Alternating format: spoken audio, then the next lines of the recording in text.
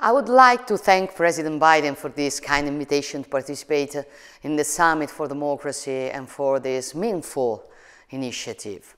Over the last few years, the world has radically changed. The pandemic first and the Russia's brutal aggression against Ukraine afterwards have shattered our life. These two major events have posed unprecedented challenges and new threats to our democratic institutions. Democracy shouldn't be taken for granted. It is the result of a constant and joint effort. It is a tough job, a job in which I do strongly believe. Italy stands up today to reaffirm the importance of the rule of law and protection of human rights. Together with Europe and like-minded partners and allies, we have proved to be united in a spirit of solidarity towards Ukraine.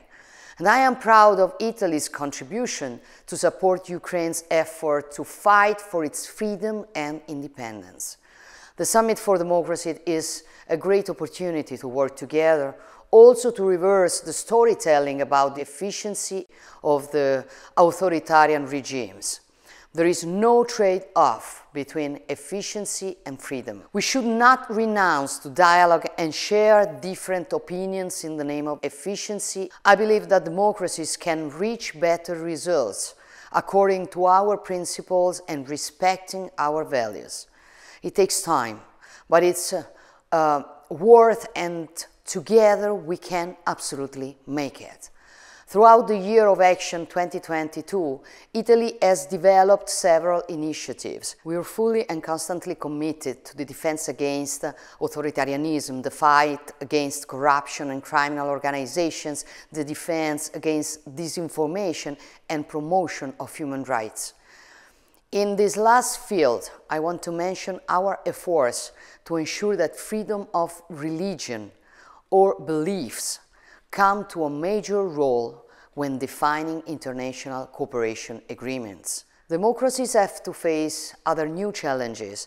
I'm thinking, for example, to digital and ecological transition, we need to foster a sense of shared responsibility among international organizations, governments, institutions, and the private sector to create mechanisms in which digital innovation and technological progress ensure that human beings remain central in the decision-making process.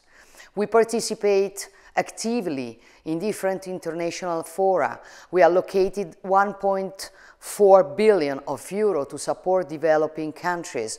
At national level, our investment in this sector is the most relevant with projects of billions of euros. In our view, this can be decisive also in order to preventing irregular flows of economic migrants enriching inhuman smugglers and organized crime.